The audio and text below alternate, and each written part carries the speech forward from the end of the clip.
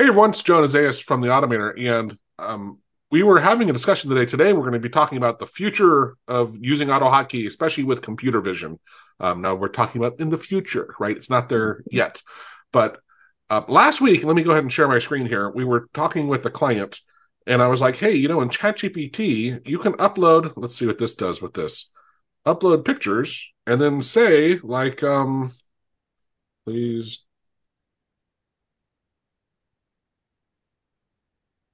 Right. And it will start going through, and this is like computer vision, and the, the, the, thing's looking at it and can describe it, or you can say what's wrong with this picture or whatever, right? Um, yeah. Really, really interesting, and how accurate it is. And there's often context as well, like it understands things. It's really interesting. Um, we were like, wow, this is really cool. And our client we showed it to was like, oh, I don't really see the value. And, and, and yeah.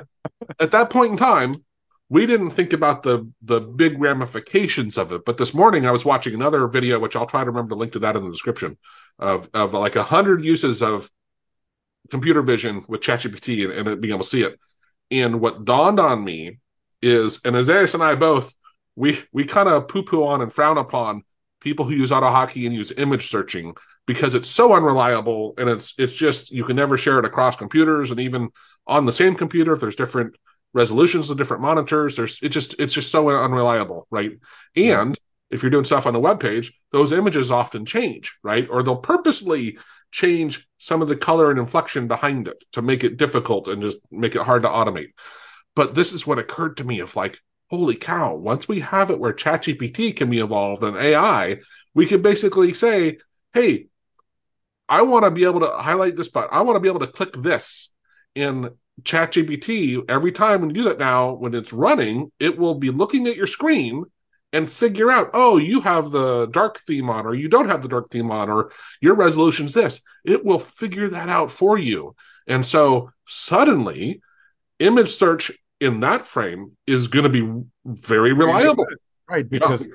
the, the one problem here is we as humans, we tend to do a lot of processing right. behind the right. screen that that you don't really think about. We know what to ignore and what was similar, right? Like intuitively, without cool even thought. Because I grabbed this one image, put it on a different screen that is smaller, and I can still know where the button is. And you did that without thinking. Your right. brain calculated all that, took into account the distortion that this this monitor is bigger than this one and for that reason the button should look smaller. All of that is happening on your background without you even thinking about it.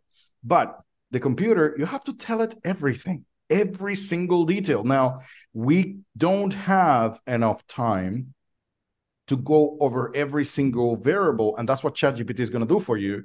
You give it an image you give it two different images and say find the same button in both and it will find them for you, you without you even having to do anything right?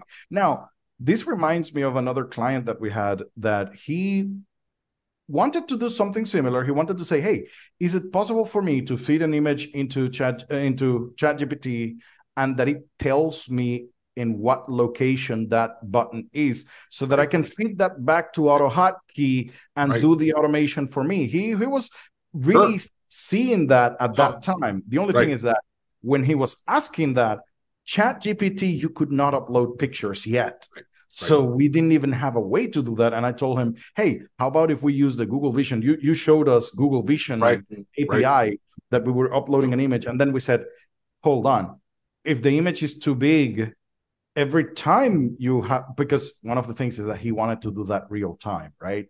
Right. And we were saying, like, yeah. you know, yeah. you have to send hundreds of pictures. Like, just imagine 23 right. pictures a second just you have to send 23 pictures a second to ChatGPT, get the information back, and then react to it. That's not really feasible. But we're getting that was not even six months ago. I guess it was right. almost a year right. ago, right? Yeah. Now ChatGPT probably has an API for me to send pictures to it.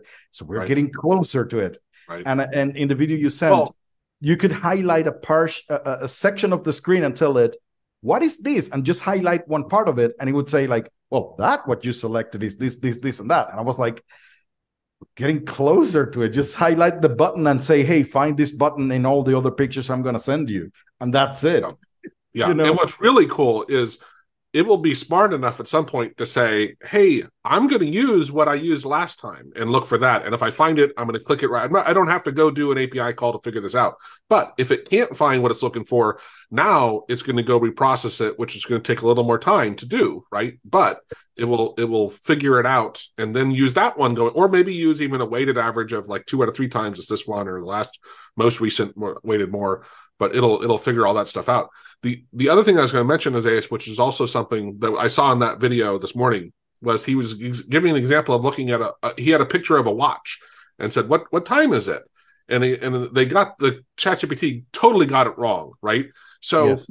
he asked it three times and said, "No, no, it's this time. No, it's this time. No, it's this time." And then from then on, it got it right. So if you're doing something with training tool, that's right. Yeah. yeah. You can actually give it a few examples and tell it this is the right answer. And it will actually improve that fast, right? And start working for you. So if you do have bad results, don't just say it doesn't work, right? Yeah. Train it. Like it's just, yeah. it's, we're, we're, it's again, we're, I'm getting goosebumps just talking about it, right? Like where we're going with this, it's going to be so amazing. Soon it's going to be so cool. Eh, eh, we are really getting into this Star Trek or you know oh. Star Trek time where right. the AI is going to be looking at your screen and then you just talk to it and say, "Hey, I just want you to go to Google, search for this one thing, open the first page and do this one thing." And the freaking AI is going to do that for you. You no. do not have to do anything because it will know that if you want to browse the internet, it has to click this icon that has to do with browsing has to go this place to put the URL, has to find the three first links. You know, it's going to be amazing. So I do really envision, and that's the cool thing, not that far off. Seems like right. a place where you will not need a mouse or and a keyboard any longer. Yeah. You just talk yeah. to the computer and it does it. Well, the and right now the way you have to do it through the app, right? But that was honestly why I told Isaias this morning I signed up for the full version, which is why in the browser here, I was using ChatGPT 4, was I signed up for the $20 a month because mainly if you're using the phone app, you can literally talk to it and it'll talk back to you. And not that I need someone else talking back to me. I have a teenager for that. But it really will be convenient of like, I can't wait for my Alexa to be able to do that, right? Like to be a smart conversation and ask it something and it will give you a very good answer, right? Um, it's really wild.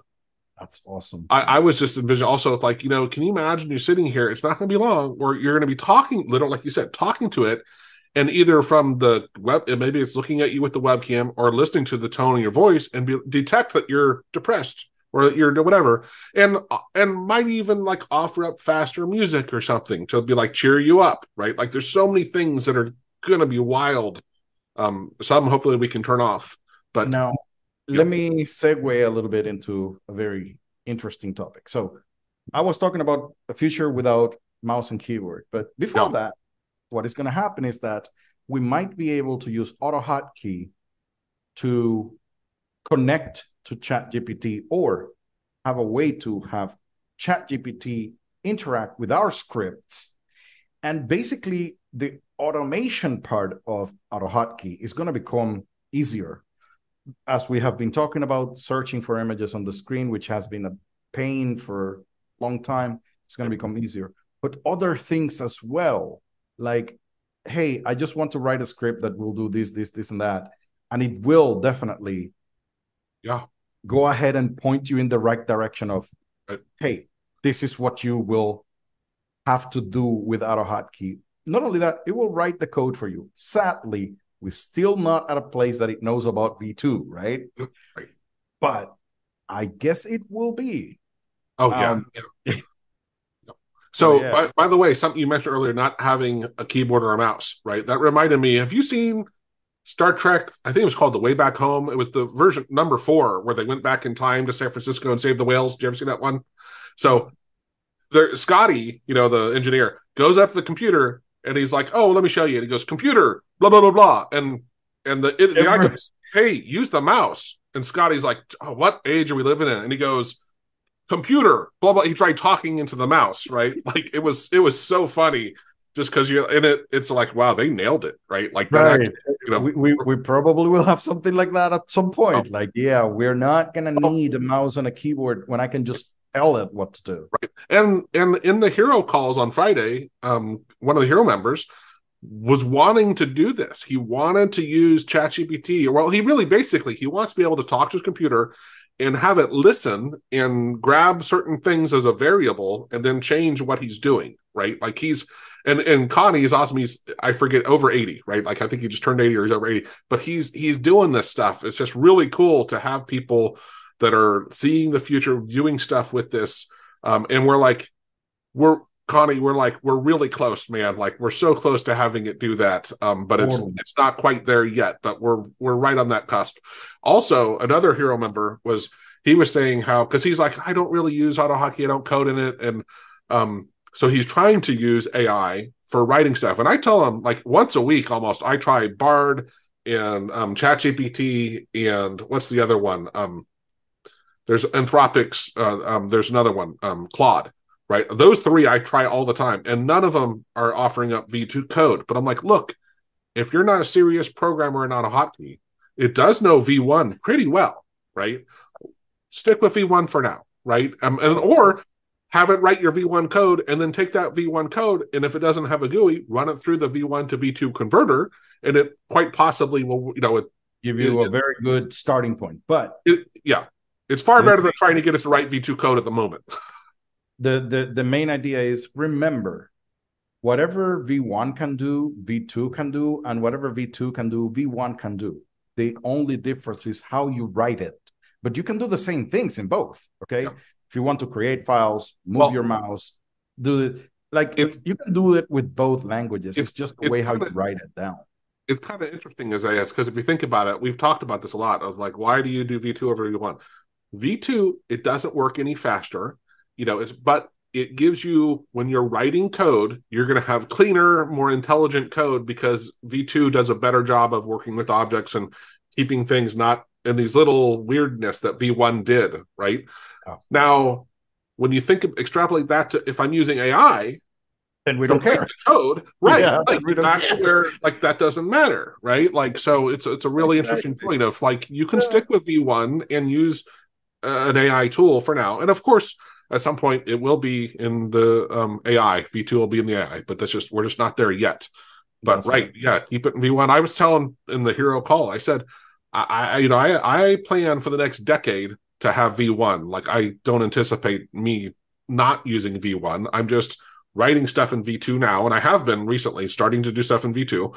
Um, and I do. It's a little hard to make that switch in the sense of your habits, right? And mainly because we have bad habits. But yeah um, I'm starting to get used to it. Um, and I do like, I read it a lot with you and Irfan and seeing what you do. And I, I do like the syntax itself. It's just when I try to write something, I put in that first comma come- like every yeah, time. It doesn't, yeah, it doesn't show up as easily, right? But it is is the same with any language. It's usually easy whenever you're learning any language, even spoken languages. It is easier to understand than to actually talk. Uh, uh, uh, Yeah, gotcha. Right. So so producing language is harder than understanding it, and that's the reason why it's easy for you to look at the code and say, "I know what it's doing," because it's very similar. Now, when you have to think about how to write it, your brain is so used to V1 that Yeah. it might be a Well- little bit different at the beginning. And depending on what you're doing, often it's actually kind of hard to tell if it's V1 or V2 code, depending on, yeah, if you're creating a GUI, it's obviously, you know, but other stuff, like if you're working with a COM object, they're so similar, right? Like it's, man, it's, it's very subtle. But anyway, hope you Oh. guys enjoyed that. Um, like I said, we're really excited. We keep testing stuff. Let us know if you want us to keep creating videos talking about how things are going to be. Like to me, this was just a big aha of like, I really saw how normally we kind of dissuade people from doing image search stuff. However, image search with an AI doing the search is it's like a fuzzy match, right? Yes, like yeah. the AI is going to say, "Oh, that's what I'm looking for," and that to me is just a game changer of telling people image search isn't so bad anymore, right? Like if Yeah. we get that, it'll it'll be viable. Awesome. All right, thanks everyone. Cheers. Bye.